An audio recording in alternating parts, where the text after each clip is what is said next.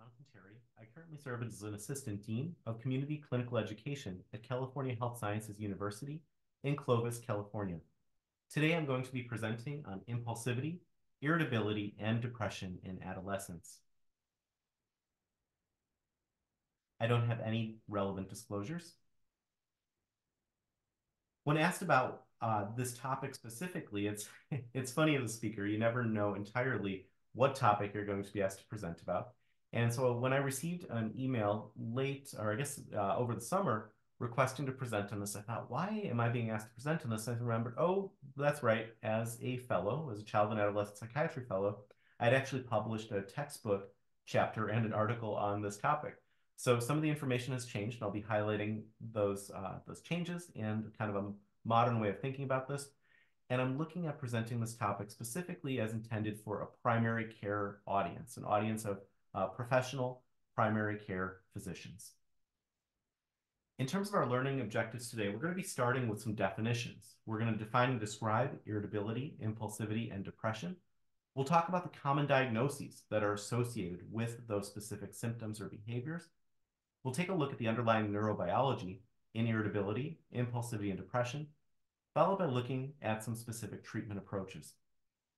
Finally, we'll apply the concepts we've spoken about to specific clinical vignettes. And while doing so, we'll also compare and contrast the mechanisms of action, dosing, adverse effects, toxicity, lab tests, and FDA approvals as they relate to these specific uh, diagnoses, if you will, and or symptoms, as well as the medications used to treat them. So first, let's go ahead and start with some definitions to make sure that we are all on the same page. Impulsivity is something that many of us have probably experienced at sometimes in our lives, but hopefully not all the time. Impulsivity specifically is characterized by behaviors that reflect little or no clear consideration of the consequences of those behaviors. It's often performed unreflectively, and it can often result in some serious adverse effects both to the affected individual and to others. It's commonly associated with ADHD, conduct disorder, bipolar disorders, cluster B personality disorders, Prader-Willi syndrome, and no surprise, impulse control disorders. So impulsivity in itself is not a diagnosis, but it is a defining feature or symptom of many of these other diagnoses. Now, if we were to look at the underlying neurobiology of impulsivity, it's been linked uh, to a number of different neurotransmitter symptoms, systems, sorry. So it's been linked with serotonergic dysfunction, uh, it's also been linked with dopaminergic and noradrenergic functions, particularly in ADHD. Now, it would make sense if we think about the inhibition parts of our brain, the parts that help us to tap the brakes on things. We're often thinking about our higher level functions. So it, it shouldn't surprise us that dysfunction in those frontal temporal areas, perhaps the striatal regions, is associated with abnormalities in executive function, the ability to carry out complex series of tasks, as well as appreciate the consequences of those tasks. When we think about our antidepressant medications, we do know that those interact extensively with those neurotransmitter symptoms, and their pharmacologic properties likely do account for some of their ability to curb impulsive behavior. However, we have to remember that antidepressants are more commonly utilized in complex presentations involving mood and anxiety disorders, but we really want to be careful with our antidepressants if the impulsivity is part of a bipolar disorder.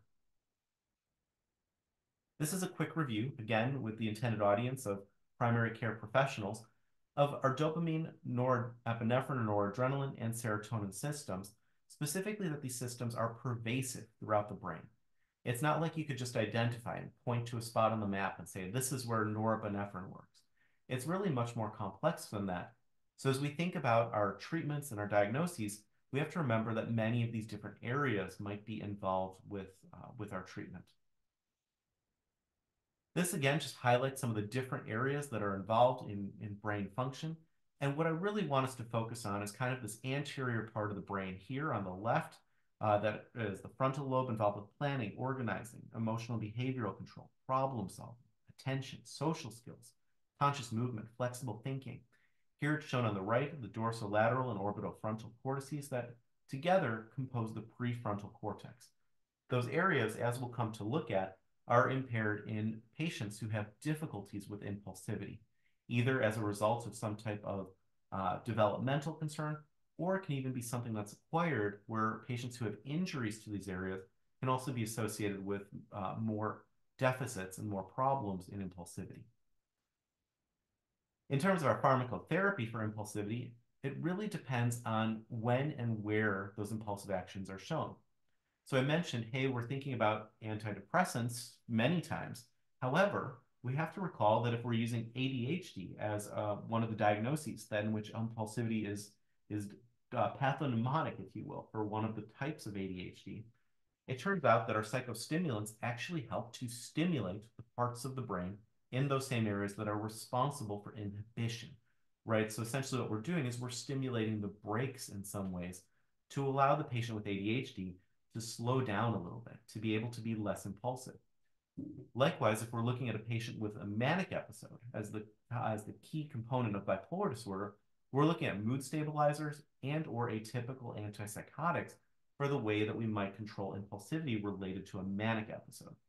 So we've laid out different areas, right? If it's related to more of a depressive syndrome, then antidepressants might make sense. Or if it's related to anxiety, antidepressants often make sense. For ADHD, we're really thinking about perhaps stimulants as first line agent. And then if it's a manic episode or part of a bipolar disorder, we'll be looking at mood stabilizers or atypical antipsychotics. We have to remember with our uh, bipolar disorders, we want to be really careful with antidepressants so as not to worsen or induce mania.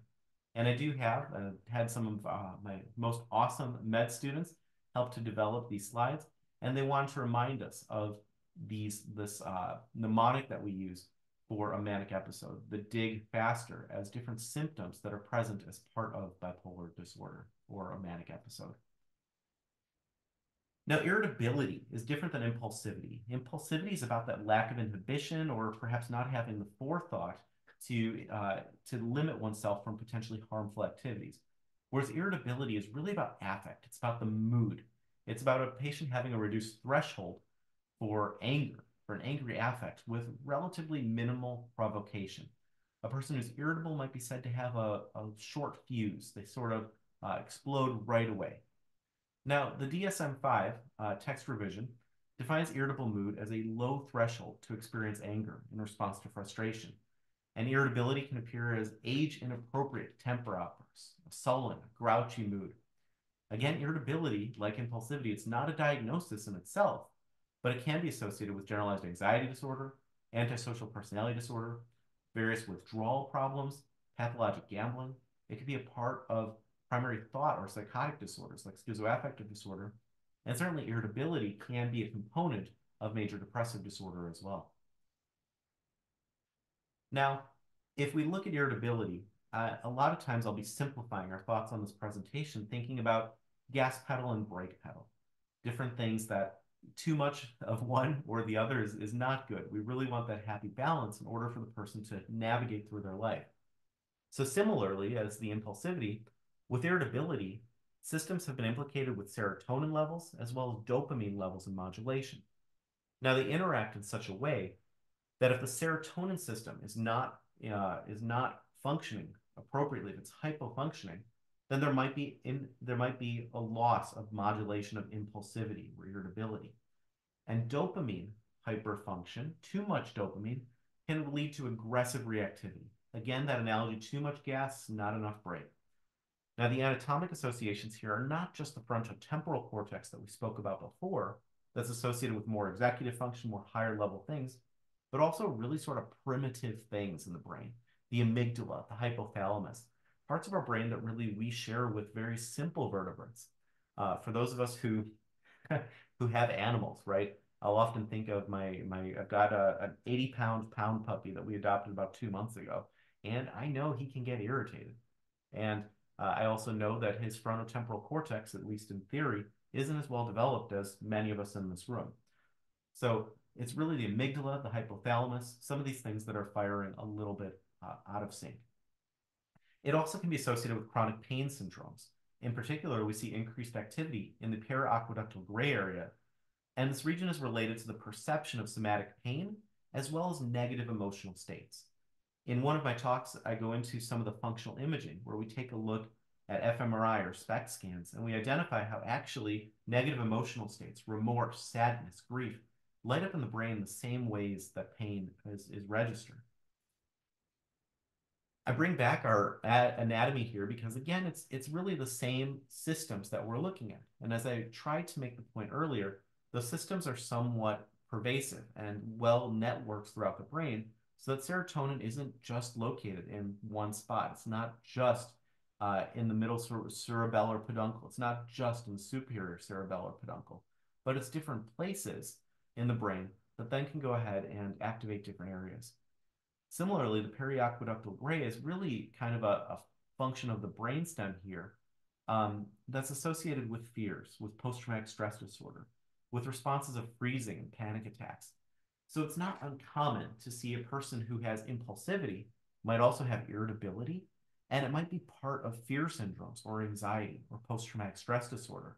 So the way that we address it is by trying to encapsulate the diagnosis and, and address the patient as best as we can to really understand how to treat them individually, even though the symptoms may present across multiple different diagnoses. So in terms of our pharmacotherapy, again, I put in something here that might be a treatment for irritability. Is uh, I, don't know if it would create or uh, solve irritability, but uh, puppies would certainly have some effect. But again, here we have our conditions associated with irritability, our depressive disorders, trauma spectrum disorders, schizophrenia spectrum disorders, disruptive behaviors, autism spectrum disorders. For many of these, for nearly all of these, the irritability responds really well to antidepressant treatment. But again, just as we saw with impulsivity, we need to be cautious in the setting of bipolar disorders. Specifically, in that sense, mood stabilizers and antipsychotic medications are going to be our first line agents because we want to be really careful and not risk uh, inducing or exacerbating mania or hypomania. On the other side, we have depression. And depression, again, is not a diagnosis, it's a symptom. It's a symptom that perhaps is linked to behaviors. It's one of the most prevalent symptoms in psychiatry, let alone primary care diagnoses. Most depression is not treated by psychiatrists, right? It's treated by primary care physicians in, in offices all over. Uh, mood disturbances, however, we recall are common across multiple psychiatric diagnoses. So they're common in major depressive disorder, dysthymic disorder, trauma disorders, schizophrenia spectrum disorders, disruptive behavior disorders, anxiety, and bipolar. So you can see again here, knowing that a patient is depressed doesn't necessarily mean that they have an antidepressant deficiency per se, but it might mean that something is going on in one of those systems that we might be able to intervene. So if we look at the underlying neurobiology of depression, again, it won't surprise you at this point that we do see links in dysregulation of serotonergic, dopaminergic, and noradrenergic function. But one of the things that's interesting is that we also see neuroendocrine abnormalities with the hypothalamic pituitary adrenal, or the HPA axis, that can imply some dysfunction perhaps in glucocorticoids or in corticotropin releasing factor. Depression is often associated with inflammation, people who have inflammatory disorders tend to get depressed, and people who are depressed tend to have elevated levels of inflammatory cytokines. We see anatomical associations with dysfunction perhaps in the frontotemporal, hypothalamic, and amygdala areas. And there's genetic factors, as well as possible environmental factors or non-genetic factors, including trauma, neglect, a post-infectious process. Again, we see the similarities and as they are linked between neurobiology of irritability and aggression. So I want you to think about these things where if a patient does have depression, or if they have irritability, or if they have impulsivity, we should be screening for the other, the other components because these are very common things that do tend to overlap. In terms of the pharmacotherapy for depression, in the absence of a bipolar syndrome, treatment might include SSRIs, it might include SNRIs. Here are some of the names of different medications that we use. Uh, there's also bupropion. Now, this is one of my favorite things to ask my med students about the mechanism because it is totally different than the antidepressants. It's really not serotonergic at all, but it tends to be a great option for regulating dopamine and norepinephrine systems because essentially it is a dopamine and norepinephrine reuptake inhibitor. Again, a highlight is the unique mechanism of bupropion. This is important for patients with history perhaps of concentration issues or disruptive behavior issues that don't have anxiety symptoms, eating disorders, alcohol use disorders, or seizure disorder. There are some cases of bupropion lowering seizure threshold, so we want to be careful with that. And one way to kind of conceptualize this is why is this helpful in concentration or disruptive behavior? Because if we look at our stimulants, what do they do? They modulate dopamine and norepinephrine by providing additional uh, stimulation in those areas. What this does is it helps to maintain that neurotransmitter in the synapse so that it functions longer. In some of my patients, we do use off-label bupropion for um, for uh, uh, patients with mood symptoms as well as attention symptoms. Now, let's take a look at some clinical vignettes to apply some of what we've been talking about. Let's talk first about Dario. So Dario's 13, came to your office with his grandmother for outpatient psychiatric evaluation. Dario's been struggling in school, often forgetting to turn in assignments, or maybe he even lost them. Maybe the dog ate him. His teachers have complained about his easy distractibility, mistakes in assignments, difficulty with organization, and interrupting conversations and activities. His grandmother says that Dario has always been like this. Since he was a young boy, he could never sit still or wait his turn. What does Dario have? If you said ADHD, you're probably on the right track. A reminder that some of the things that we might use to diagnose uh, or to assist with our diagnosis are the Vanderbilt ADHD Diagnostic Parent and Teacher Rating Scales. I have both of those pictured here. These are readily available on the web. They're open source in the sense that we can use them. There's no specific copyright. And they're really nice because they do talk about the inattentive symptoms, the impulsive symptoms that, that Dario has, but they also get into factors of mood and irritability. Now, if you've looked at these and said, why are they asking about this? This is an ADHD scale. I'm here to remind you that those uh, syndromes or these behaviors are highly comorbid. Why are they comorbid? Why do patients with ADHD also sometimes have mood uh, irregularities? It should make sense now when we look at the underlying neurobiology and the symptoms or systems that are affected. So how would we go ahead and treat Dario? Well, we might use stimulants. That's a first line treatment, right? Even though they're difficult and sometimes annoying to prescribe with uh, needing to write a new prescription every month uh, in most jurisdictions and uh, getting calls from the pharmacy, the stimulants are still first line and sometimes actually better tolerated than the non-stimulants, such as bupropion. Remember, we spoke about the mechanism of bupropion being a norepinephrine dopamine reuptake inhibitor, or atomoxetine, which is a norepinephrine reuptake inhibitor, also known as Strattera. So let's say that we go ahead and we uh, allow Dario to start a stimulant treatment. In terms of outcomes, we notice he has improvements really right away because stimulants do work very quickly. He has those improvements in attention as well as hyperactivity and impulsivity within the first week of medication administration, as noted by his family and teachers. If we were to prescribe bupropion or atomoxetine, remembering that both of those use more reuptake inhibitor mechanisms, those are going to take a little bit longer, usually, to notice an effect. Usually, what I explain to patients is the medication is going to start working for you right away. It's one of the things that's going to start making measure, uh, changes, and you might notice that possibly even through side effects. It's going to start exerting its effects, but it will continue to improve an effect as we'd expect within the first several weeks. We can schedule Dario for follow-up in the first couple weeks. And if Dario had depressive symptoms, we might consider something like bupropion. Remember, bupropion is a nice agent for depressive symptoms as well as those who suffer with concentration issues. Atomoxetine, however, is not very effective for depressive symptoms, but it can be effective for attention symptoms. So thanks for helping me diagnose Dario. Let's talk about Wilson. So Wilson is a 12-year-old boy who was brought into the emergency department from his school after screaming at an adult hall monitor. And there was no identified provocation. It just happened. Wilson's mother says that he has been super irritable for the past week. She's concerned that his new friends might be a bad influence. Wilson's been staying out late. He's chatty. He can't concentrate on schoolwork. He's been completing, I'm sorry, he has not been completing chores, and his judgment is in the tank. It's terrible. Wilson is arguing with his mother, saying that there's been fighting with the other boys, and they're not his friends. Wilson's never been drugs, done drugs before, but he actually tried cigarettes for the first time a few days ago. His urine drug screen is currently negative. What does Wilson have? If you said that this was a manic or perhaps a hypomanic episode, you're probably right. This has been going on a week. He's got an irritable mood, increased speech, decreased need for sleep, and excessive involvement in high risk or pleasurable activities.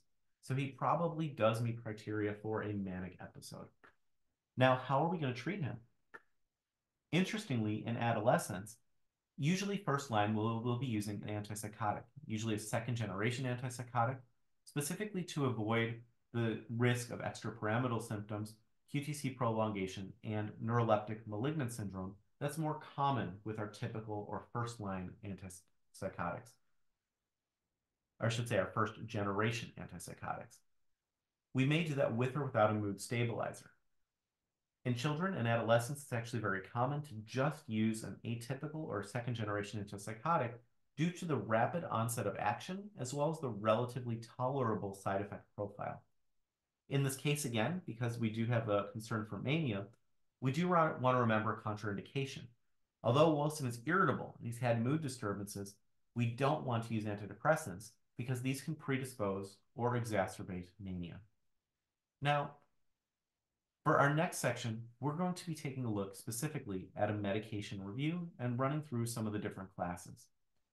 Specifically, we're going to be talking about uh, SSRIs, or selective serotonin reuptake inhibitors. We'll be talking about our serotonin norepinephrine reuptake inhibitors, or SNRIs. We'll be talking about atypical antidepressants, such as bupropion and mirtazapine. Our tricyclic antidepressants, not that we really ever use those in adolescence, but they still do show up on board exams, so they're worth bringing up. And perhaps similar for the monoamine oxidase inhibitors. Very rare to use these in general these days, uh, especially in children and adolescents.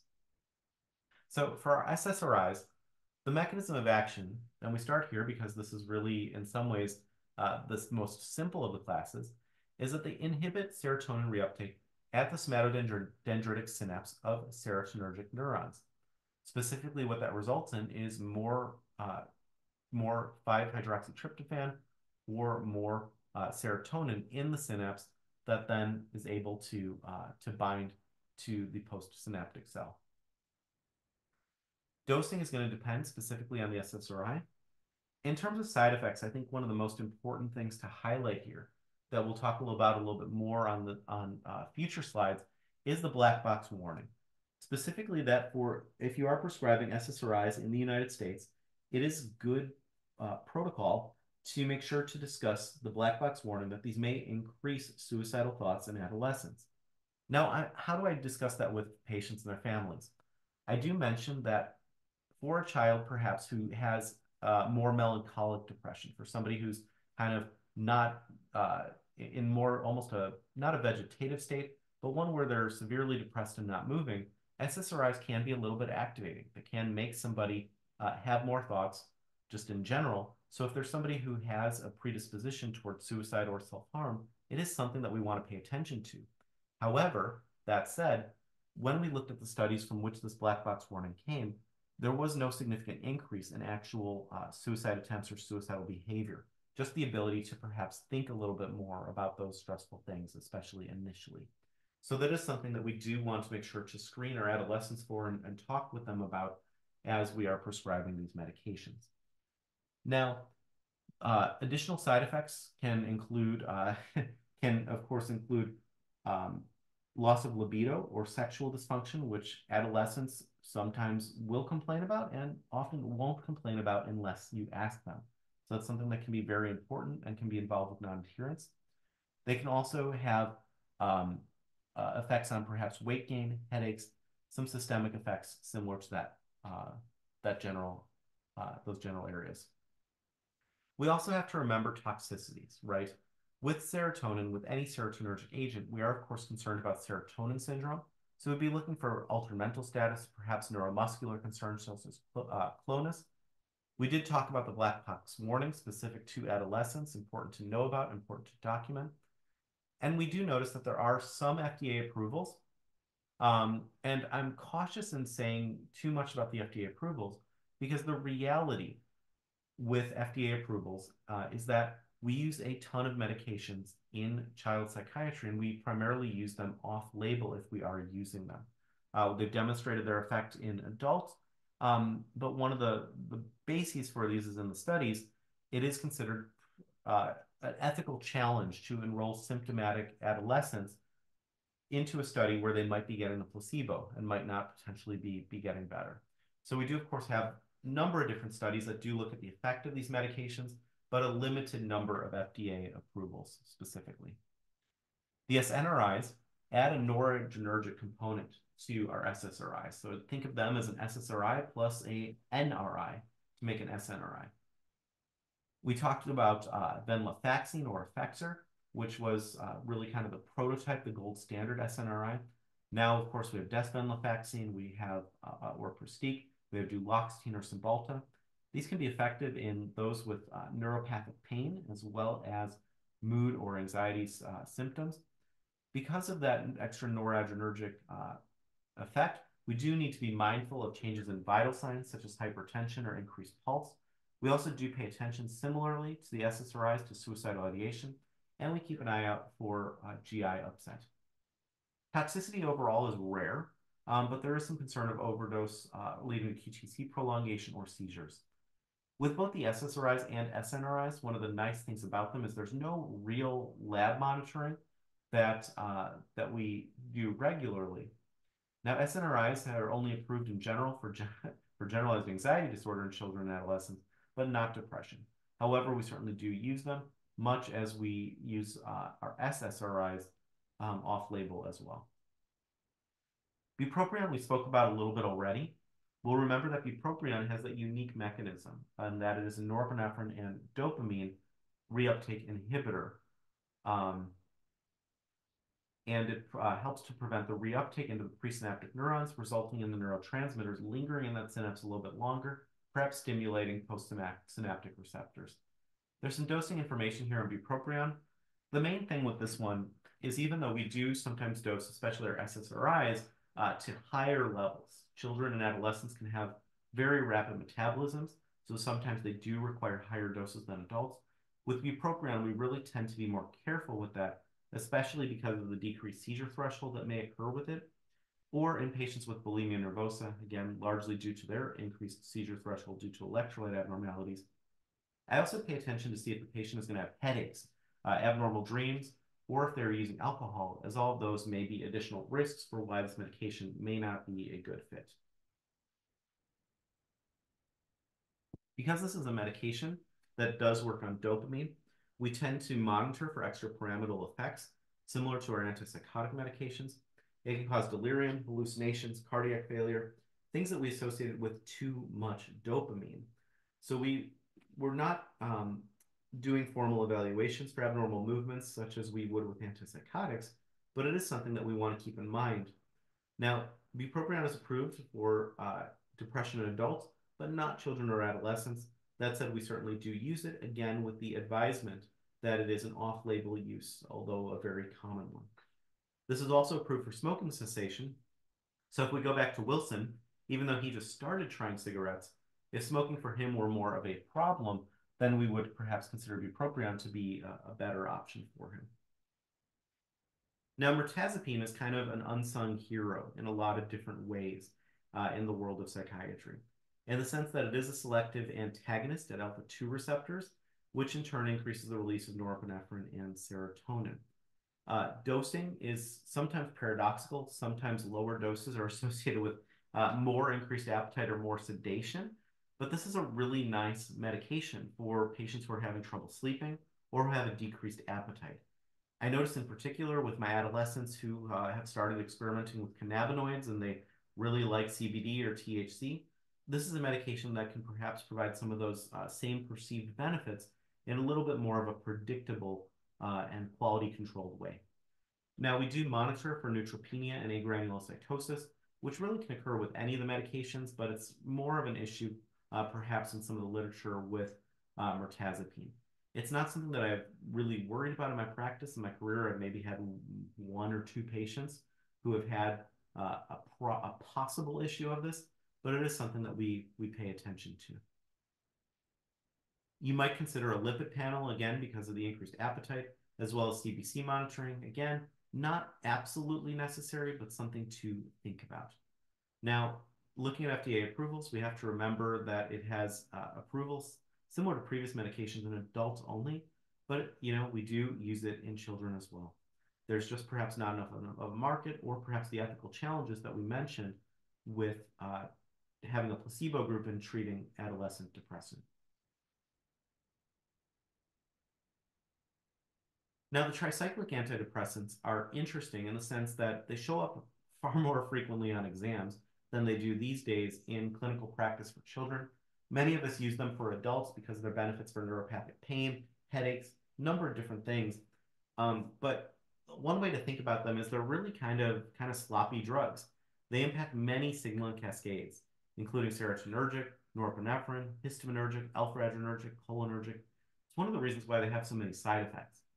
One of the challenges and the reasons why we really don't prescribe these, especially if there's the slightest hint of suicidal thoughts, is that there's a really narrow therapeutic window. What that means, of course, is that the effective dose is relatively close to the lethal dose if we're not careful. These medications also do best when you check labs with them. We'll talk a little bit more about that here in a second. And we do worry about side effects ranging from drowsiness to cognitive dysfunction from the histaminergic and cholinergic effects to cardiotoxicity and arrhythmias. Really a medication to be careful with, uh, especially if prescribed with any other serotonergic, uh, noradrenergic, or anticholinergic medication. As I mentioned, they have a very narrow therapeutic dose where the lethal dose is about three times the maximum therapeutic dose. So we really need to be careful with that. And the most concerning toxic effects are going to be cardiotoxicity and QTC prolongation. We can measure plasma levels of these, which is pretty great to see if you're in the effective dosing range. And EKG monitoring is also recommended. Now, these medications are really don't have significant FDA approvals in children, but we do use clomipramine for uh, obsessive compulsive disorder and imipramine potentially for enuresis. Uh, again, primarily due to those anticholinergic effects. I'm careful with these. These are medications where uh, if you're at all uncomfortable with this, this is where I say not a bad time to refer to a psychiatrist to, to take a closer look at it. Now, with the monoamine oxidase inhibitors, the MAOIs, we have to remember that monoamine oxidase is an endogenous enzyme that normally breaks down dopamine, serotonin, epinephrine, and norepinephrine, or the uh, monoamines that would normally be oxidized by monoamine oxidase. By inhibiting that enzyme, you end up with an increased amount of these, uh, these neurotransmitters, again, that linger in the synapse and might have the ability to exert their various effects. Now, one of the challenges, again, at least on board exams, more so than in real life, is that these do have dietary interactions with tyramine-containing foods, uh, aged foods, cheese, wine, aged meats. And when those foods are given, it can result in hypertensive crisis. These medications can also be implicated or problematic in the case of serotonin syndrome, something we need to look out for. We spoke about the dietary restriction with tyramine, and perhaps not surprisingly, as these are very old medications, there are no FDA approved indications for children and adolescents. I do have a quick image here on uh, from American Family Physician reviewing autonomic, neurologic, musculoskeletal, gastrointestinal symptoms of serotonin syndrome.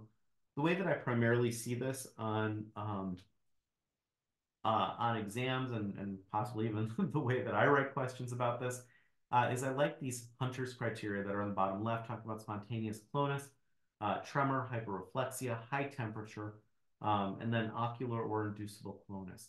So uh, something really interesting to, to think of, to be aware of. Um, and this clonus is different than the rigidity that you might see with neuroleptic malignant syndrome, which does present very similarly. So you can look for histories of what diagnosis the patient had, as well as what potential treatments they, they might have had to have gotten uh, those, those disorders. Now, I did mention earlier our second generation antipsychotics and our mood stabilizers. Now, I feel like these are medications that you should know exist, but in my experience, most, certainly not all, but most primary care physicians are less comfortable prescribing our second generation antipsychotics and our mood stabilizers. Um, they're uh, a little bit more specialized, there's a little bit more monitoring, if I had to pick one, it would usually be aripiprazole or Abilify. For uh, any time that we might need an antipsychotic medication, again, for mood stabilization, could be used for, uh, for different forms of impulsivity if not related to ADHD.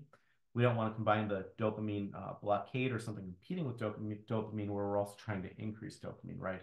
So we wouldn't combine aripiprazole with a stimulant. Certainly, we, although I've, I've seen it, it's not not the best practice. Um, aripiprazole has easy dosing, good tolerability, maybe a little bit less extrapyramidal symptoms than uh, than other medications. Certainly more less than our uh, first generation or typical antipsychotics. Certainly less metabolic side effects, which is nice. Risperidone is worth noting as well. Uh, we use that often for rigid behaviors in autism spectrum disorder.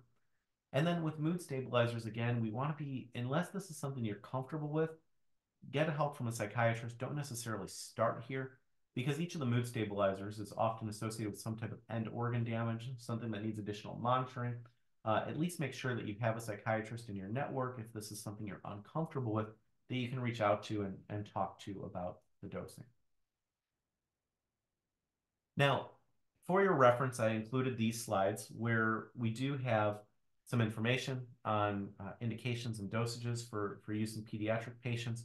Uh, again, with clomipramine, duloxetine, escitalopram, fluoxetine, um, some of the, the different indications.